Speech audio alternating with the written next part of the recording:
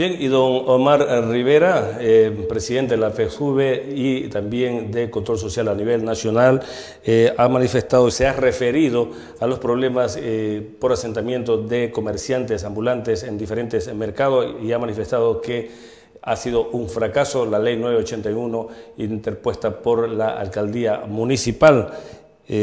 preparan algunos procesos penales contra los ejecutivos de la alcaldía. El vecino, el pueblo cruceño está decepcionado porque no tenemos alcalde en Santa Cruz, sabemos que existe pero nadie lo ve, es un Espíritu Santo, peor,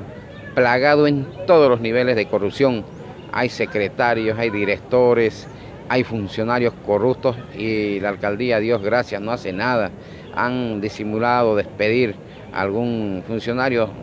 en un pez chico, pero los peces gordos definitivamente reinan en el gobierno municipal. Si siguen, si aún continúan los gremialistas informales que se asientan en las calles, ellos mismos han denunciado de que les, piden 100 pesos o 200 para poderse asentar. Además, por el pago les comunican cuando viene la batida. Esto es corrupción total y absoluto. Eh, nosotros denunciamos públicamente de que esta corrupción se tiene que acabar y está en manos del señor alcalde para que eh, se vaya corrigiendo el fracasado proyecto de traslados de mercado hasta hoy está sufriendo la gente, eh, tanto gremialistas, los transportistas y el pueblo, por mala administración en el tema de traslados de mercado y peor aún en el tema de reordenamiento del tráfico vehicular. Un fracaso total, es una vergüenza, reina la corrupción y esto no puede continuar así. Nosotros como población, como vecinos,